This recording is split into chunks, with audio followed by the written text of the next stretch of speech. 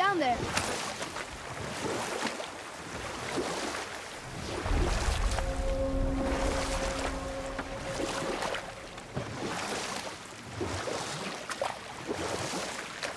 Mimir, how'd you come to be in these lands? Lad, there comes a time in every man's life when he changes his name and heads north to make a new start. If you live long enough to do this many times over, you might end up as far north as this place. By the time I arrived, I already knew Odin by his reputation, and so I set to demonstrate my worth by coming to him with something I knew he'd value a mystic well of knowledge. Or rather, I should say, a well of water laced with enough mystic mushrooms to make a god see visions. Oh, he was rightly impressed. Can't say for sure what he saw that led him to try gouging out his own eyes, but I managed to restrain him before he finished the job. Then I persuaded him it has been his sacrifice made for an even higher form of sight to be bestowed. Blah, de blah, de blah, de blah. I used to think he never caught on. But the day he took my eye, I realized he had never been fooled.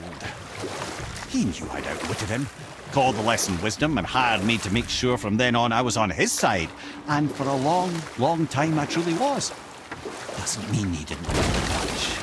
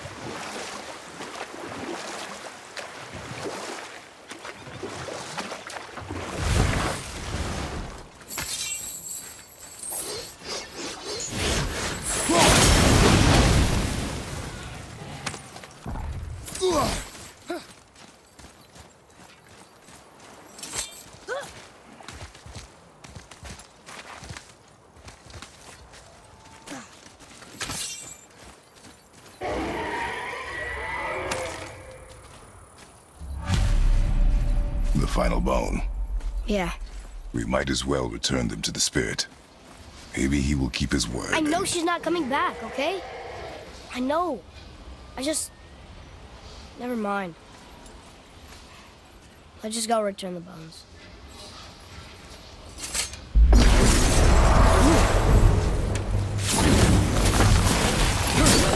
The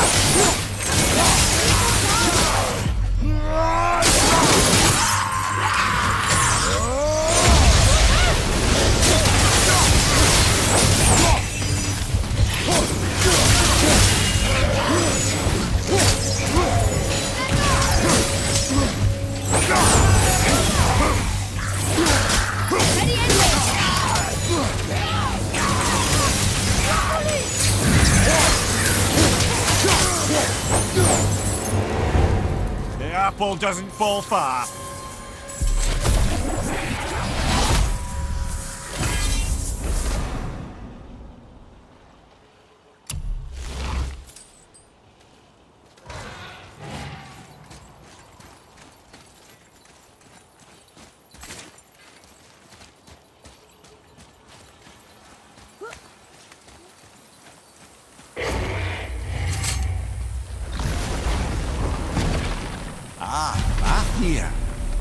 Always wondered what became of him. Wait, Fafnir? Like, Fafnir's storeroom Fafnir? The very one. But Sindri said he was a dwarf. He was. And now he's a dragon. Funny how life works, isn't it? He's chained up. Perhaps we should keep an eye out for binding shrines and free the poor bastard. Aye, lads?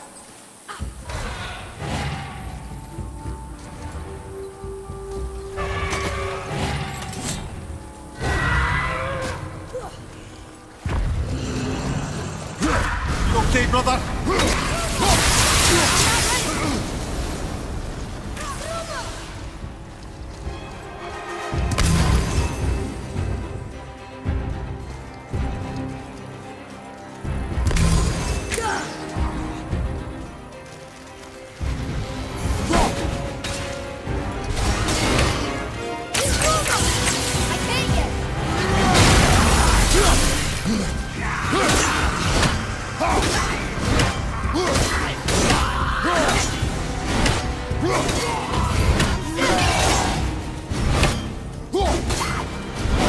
okay,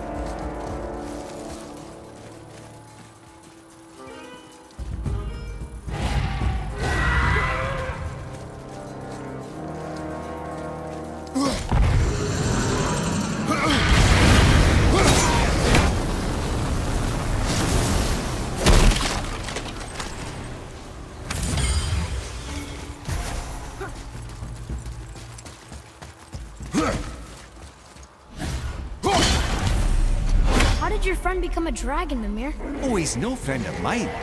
This little scroat was a constant source of annoyance amongst Aesir and Vanir alike. Then why free him? Trust the recently liberated, brother. No one deserves to be held captive like this. Even a greedy little dwarf come dragon.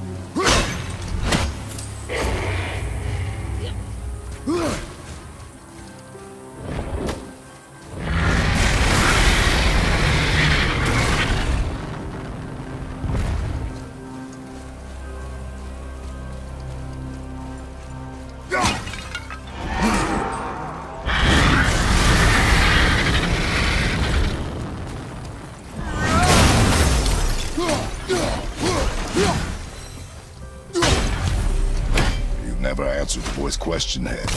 How did this dwarf become a dragon? Well, I don't know for certain, though I'd wager his penchant for stealing magical artifacts had something to do with it. Must have stolen the trinket from the wrong Vanir goddess.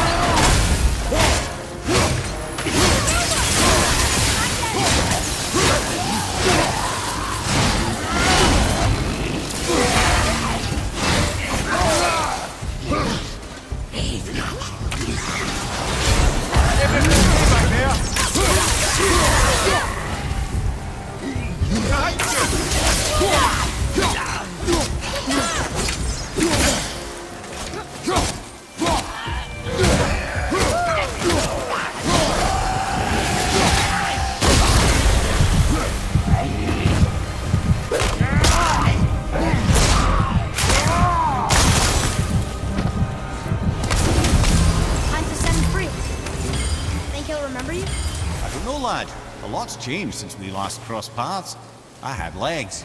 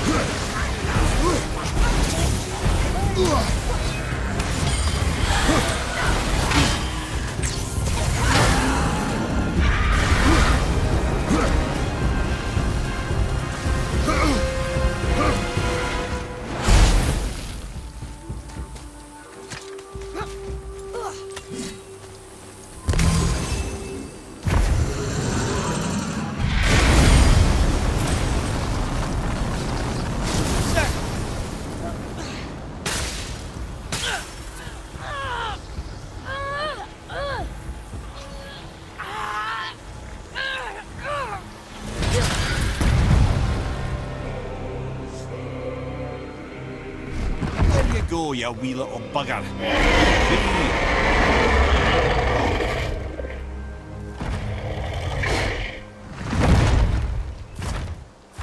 Well, Running Dragon hasn't done much for his personality.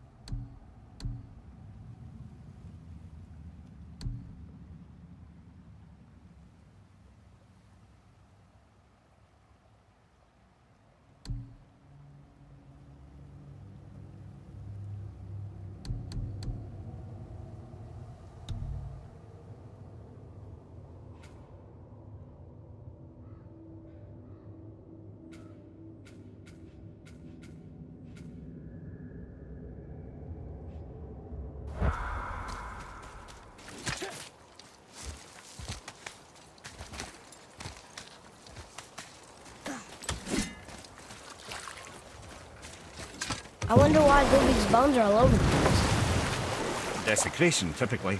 Pieces of scattered corpse make for a piss-poor soul. No hope for Valhalla or Helheim when your arm's on one beach and your head's on another. Why not ask the spirit? I'm sure he will be forthcoming with answers.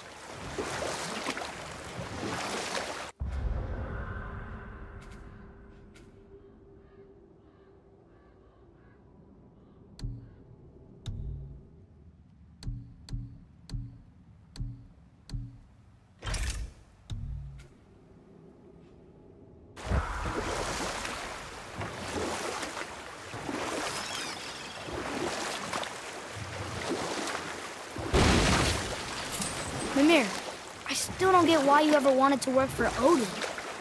Back then, I was young enough to still be ambitious. And we'll pick this up later.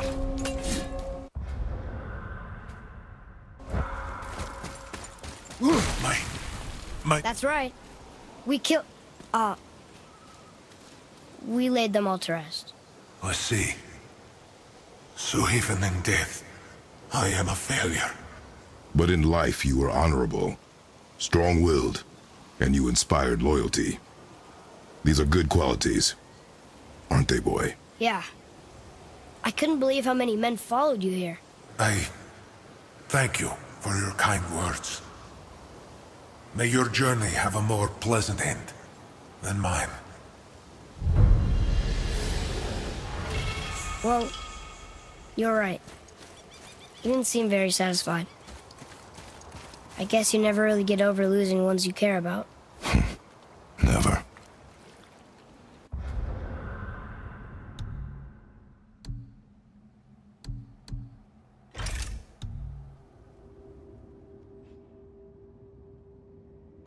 What did the spirit leave us? An offering to one of the gods. Can we use it? No, but perhaps the dwarves can.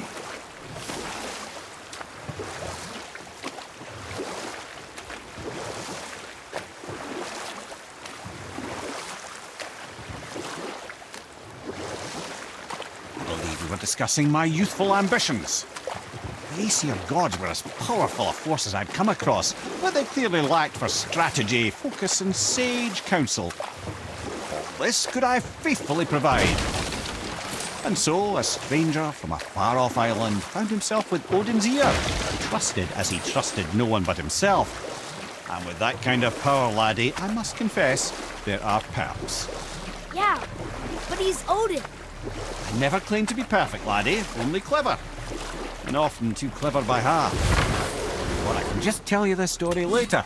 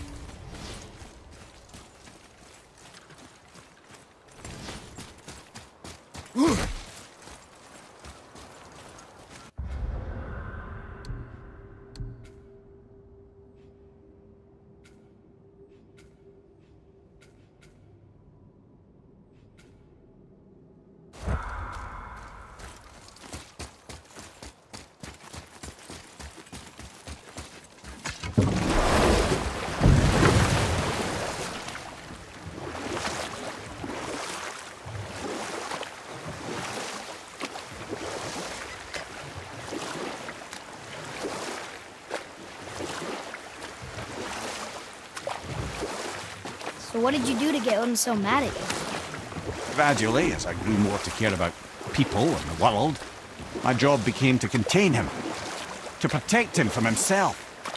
By serving peace, I served his interests as well. That's the truth. But he saw it as disloyalty. No longer trusting my motives, but not wishing to part with my brain or tongue, he bound me to a tree and adopted a new pastime of casual torture. Well, I'm glad we came along to cut off your head. Aye, lad. Lucky break that was.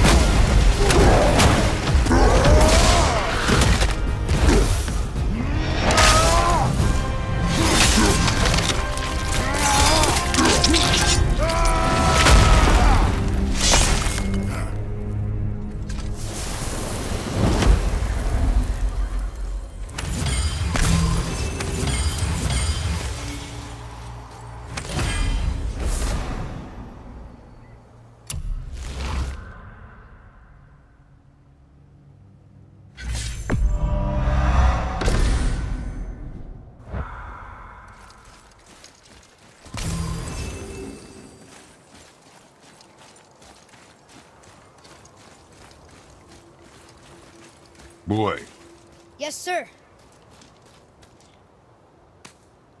It's another one of those maps.